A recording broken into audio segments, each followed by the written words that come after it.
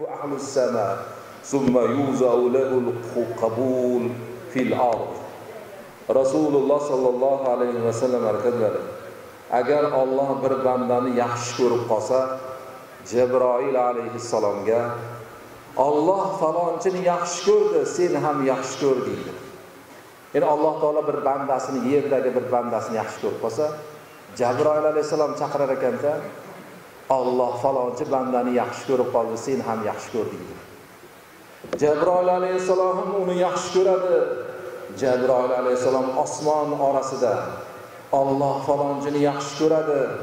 Sizlar ham uni yaxshi ko'ringlar deb nido qiladi. Shunda osmon ahli ham u bandani yaxshi ko'rib qoladi. Keyin yer yuzida hamma odamlar u bandaning so'zini qabul qiladigan bo'lib qoladi. Ya'ni olloh bir bandasini yaxshi ko'rsa jabroil alayhissalomga men falonchi bandamni yaxshi ko'rib qoldim sen ham yaxshi ko'rding ekan jabroil alayhissalom ham yaxshi ko'rib qolar ekanda osmon ahliga olloh falonchi bandani yaxshi ko'rib qolibdi sizlar ham yaxshi ko'ringlar deydi ekan osmon ahli ham uni yaxshi ko'rib qolar ekan. Endi yaxshi ko'rgandan keyin nima bo'lar ekan oxiri? Keyin yer yuzida hamma odamlar u bandaning so'zini qiladigan bo'lib qoladi. Alloh yaxshi ko'rgan. Bir odamni ko'rsangiz tanimaysiz. Shuni ko'rsangiz yaxshi ko'rib qolaverasiz. Uni yaxshi ko'rib qolayotganingiz sababi uni Alloh yaxshi ko'radi. Va bir odamni Alloh yomon ko'radi. Jabroil alayhissalom chaqirar ekan men falonchi bandamni yomon ko'rdim. Sen ham buni yomon ko'rding deydigan jabroil alayhissalom yomon ko'rib qolar ekan. Keyin jabroil alayhissalom osmon ahliga aytar ekan Alloh falonchini yomon ko'rdi sizlar ham yomon ko'ringlar dedi ekan. Butun osmon ahli u odamni yomon ko'rib qolar ekan. Shuning uchun yaxshi inson bo'lishlikka harakat qilish kerak. Imom muslim abu hurayra roziyallohu anhudan rivoyat qilingan hadisda rasul rasululloh sollallohu alayhi vasallam kunlardan bir kun sahobalarga qarata sizlardan kim bugun ro'za tutdi dedi. Hazrati abu bakr siddiq roziyallohu men yo allohning rasuli men ro'za tutdim. Yana savol berdi. Bugun kim janozaga qatnashdi? Hazrati abu bakr siddiq roziyallohu men janozaga qatnashdim ey allohning rasuli. Kim bugun bir miskin hech narsasi yo'q odamni qornini to'yg'azdi? Hazrati abu bakr siddiq roziyallohu men ey allohning rasuli. Yana rasululloh savol berdilar. Bugun kim bir bemorni kasalni borib ko'rdi? Yana hazrati abu bakr siddiq roziyallohu anhu. Men ey allohning rasuli. Shunda rasululloh aytgan ekan majtama'na fi imri'in illa dakhalal janna kimda ushbu ishlar bir kunda jamlansa u albatta jannatga kiradi.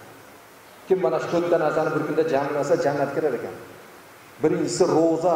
Kim ro'za tutdi deyapti? Hazrati abu bakr siddiq men deyapti. Kim janozaga qatnashdi? Men. Kim kasalni borib ko'rdi? Men. Kim bir miskin qorni och odamni qornini kim to'yg'azdi men? Shu to'rtta narsa kimda bir kunda jamlansa rasululloh aytyaptilarki u odam jannatga kiradi. Jannat bashorati berilgan zotlardan yana biri biri hazrati bilol habashiy roziyallohu anhu.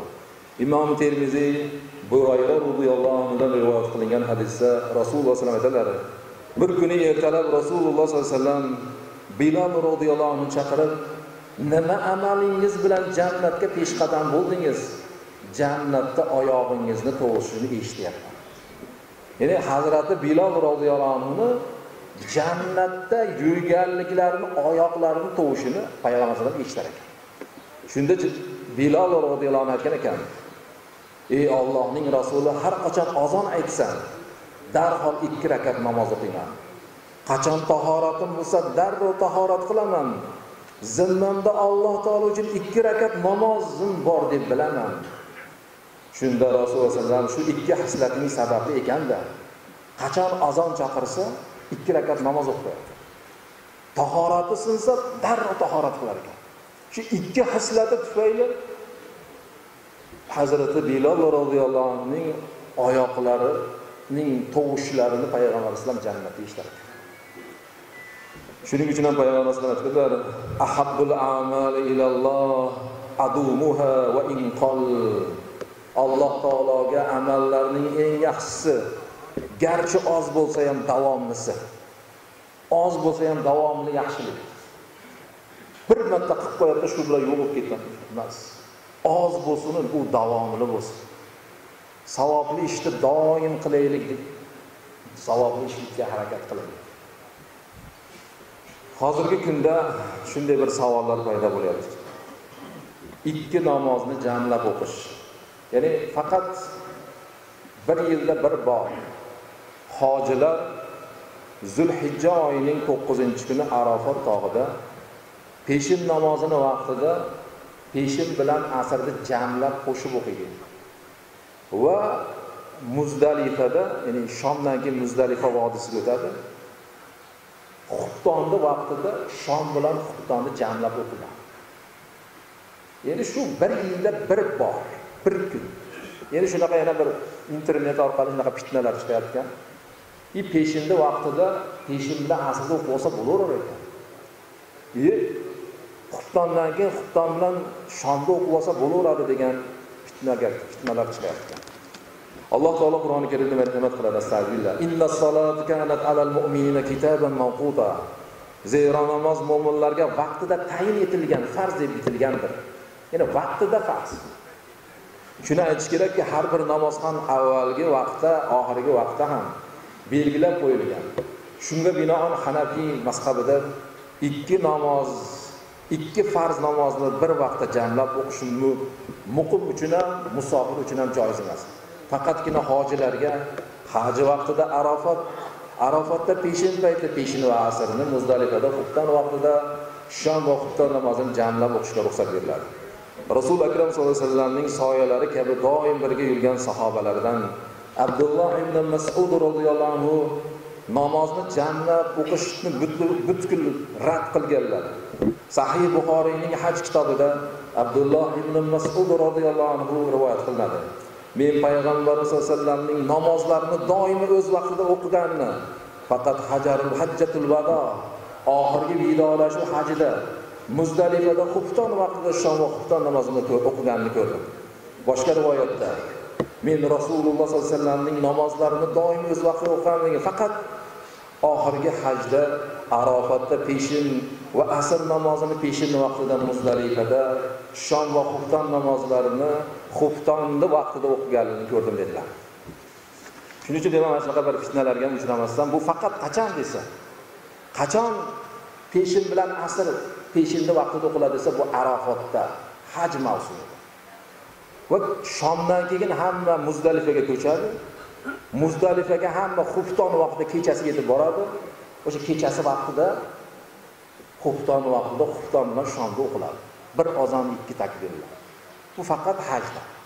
Endi hozir mana shunaqa bo'laverar ekan safarda yerligi vaqtidan qizg'anib peshinda vaqtida asr bilan peshin bitta o'qib qo'yayotganlar bo'lyapti shomni o'tkazib bo'laveradi deb turib xufton bilan shomni bitta o'qib qo'yayotganlar bor ekan. Bu katta gunoh ishlardan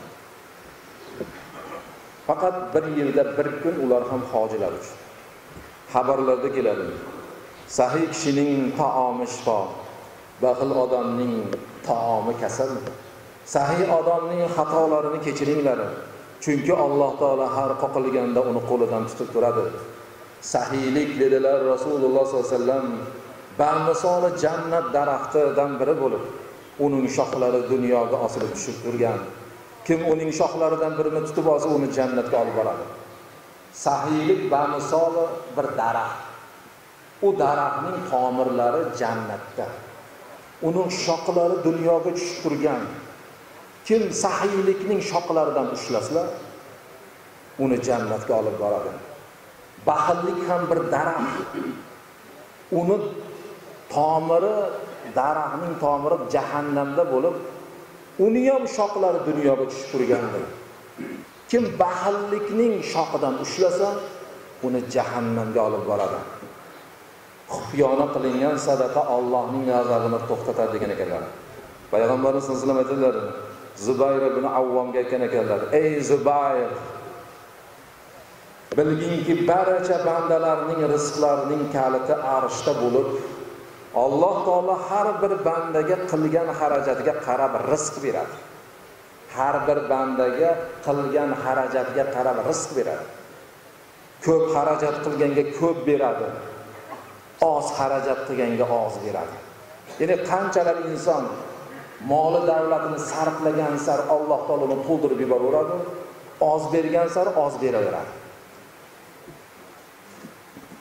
Payg'ambarimiz sallallohu alayhi vasallam aytadilar sadaqot ehson egasini qo'lidan chiqayotganda beshta so'z bilan gapiradi. Ya'ni berayotgan pulimiz berayotgan moli davlatimiz ehson sadaqat qilayotganimizda so'zlar ekan. Nima deb gapirar ekan? Kichkina edim katta qilib yubording ya'ni bergan pulimiz kichkina edi. Uni berishligimiz bilan uni alloh taolo katta qilib yuboradi. Ikkinchisi qo'riqchim eding. Endi men seni qo'riqchingga aylandim. Endi pulni biz qo'riqlab yuradiku birov olib qo'ymasin so'ramasin seplarga sandiqlarni ichiga ko'rpalarni ichiga tiqayapti deb birov pulni olib qo'ymasin deb shuni hamma qo'riqlayaptiku. U aytyaptiki oldin sen meni qo'riqchim eding. Endi sen menga berishligingdan men seni qo'riqchingga aylandim.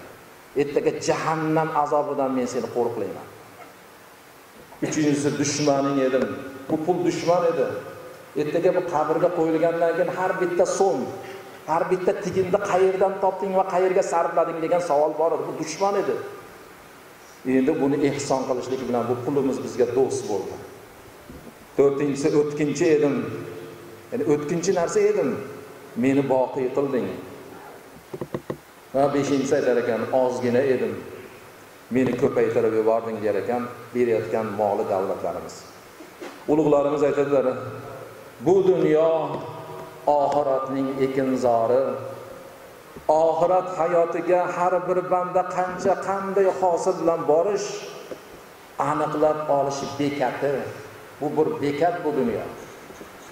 Bu dunyoda jannat joy bu dunyo. الله تعالى قرآن الكريم لما رحمة قلوة دانا سبيل وترى كل أمة جاسية. كل أمة تدعو إلى كتابها اليوم. تجزون ما كنتم تعملون.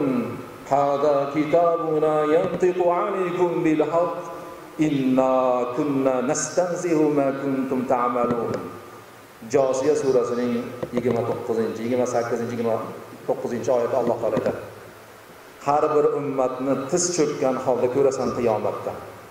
Har bir ummat namoyi amollariga amallar daftariga chaqiradi. Bugungi kunda qilib yurgan amallaringizni savobini oling deyiladi. Mana bu kitob sizga haqni nutq qilur. Albatta biz qilgan amallaringizni yozib turgan edik. Ya'ni har qancha savob ish qilyapmiz ikki yelkamizdagi farishta yozyapti ertaga amallar daftari bizga beriladi. O'ng tomondan berilsa jannat chap va orqa tomondan berilsa bu do'zaxga sabab. Shuning uchun ikki yelkamizda farishta turibdi. O'ng yelkamizdagi farishta bugun qancha savob ish qildi buni yozib bormoqda. Chap yelkamizdagi farishta bugun qancha gunoh ish qilsa shuni yozib bormoqda. Duo qilaylik alloh taolo barchalarimizga aytilgan bu pand nasihatlarga amal qilishga o'zi muvaffaq aylasin xususan